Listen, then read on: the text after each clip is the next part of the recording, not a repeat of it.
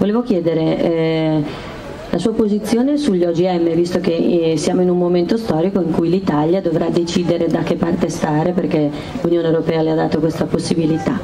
E, ehm, se è meglio preferire i cibi biologici quando c'è la possibilità o i cibi a chilometro zero, quelli ehm, insomma noti, piuttosto quelli, di quelli di cui non si sa la provenienza. Ma questa è una domanda tendenziosa perché tu sai già la risposta.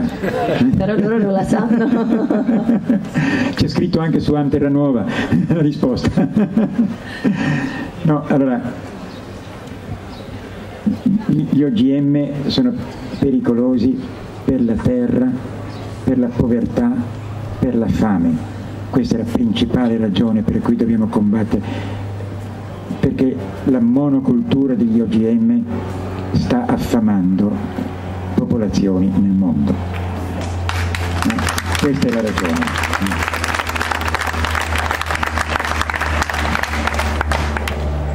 Se gli OGM che ci sono adesso, fondamentalmente la soia, il mais e il cotone, eh, perché tutte le altre tentativi che hanno fatto sono stati fallimentari, ma sulla soia e il mais noi importiamo, sapete, possiamo, è proibito produrli in Italia, ma ne importiamo enormi quantità per nutrire gli animali. No? I nostri animali mangiano un cibo che non è il loro, no? e per di più. Il,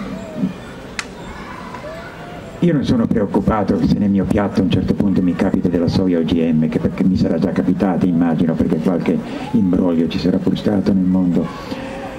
E ma eh, perché non, non ci sono delle solide dimostrazioni che faccia male. Fa male al pianeta. E poi perché mai dovremmo mangiare il cibo OGM. Non c'è nessun vantaggio, non c'è nessun vantaggio economico se non per chi brevetta questi, eh, questi cioè, io sono rimasto colpito, andavo ai primi congressi sulla soia e un campo di soia OGM trattato con il Roundup, con, con il glifosato, produce forse il 2-3% in più di un campo di soia tradizionale. Non c'è nessuna ragione economica di produrre gli OGM. L'unica ragione e per monopolizzare i semi. E quindi no agli OGM, certamente no agli OGM. E dobbiamo diffondere questa informazione. C'è stata fatta un'informazione martellante da parte dell'industria sulla utilità degli OGM. Un'informazione fatta di falsità gli OGM per combattere la fame del mondo. No, gli OGM sono una causa della fame del mondo, non una, una cosa per combatterla. E... Ma io non sono contro la, la ricerca sul DNA ricombinante, eh. sono state fatte delle cose meravigliose, è stata, è stata creata l'insulina, no? eh, cioè, oggi un diabetico può vivere bene grazie alle nostre capacità di fare produrre a dei batteri OGM eh, l'insulina. Eh, per cui sono favorevole alla, alla ricerca in questo campo, ma giù le mani dal cibo. Difendiamo il cibo, riappropriamoci del nostro cibo, vogliamo il nostro cibo.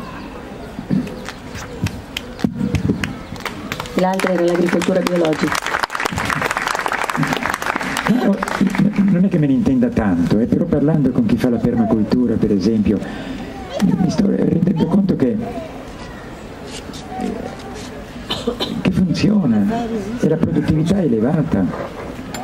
Poi a volte la produttività è più bassa, ma perché produci, perché usi dei semi antichi e, e se fai il grano monococco eh, ti rende meno naturalmente che non è eh, che non i, i, i, grani moderni, quelli ricchissimi di questo glutine.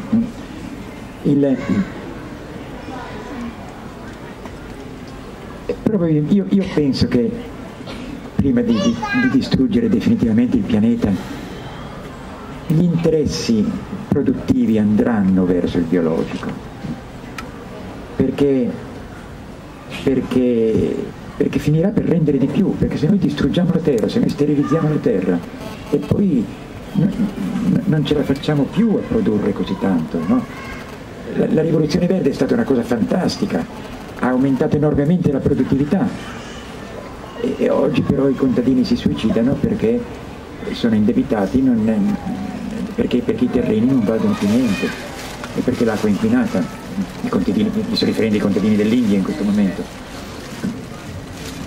E, eh, per cui io penso che sarà, sarà inevitabile che torneremo a produrre il cibo senza chimica.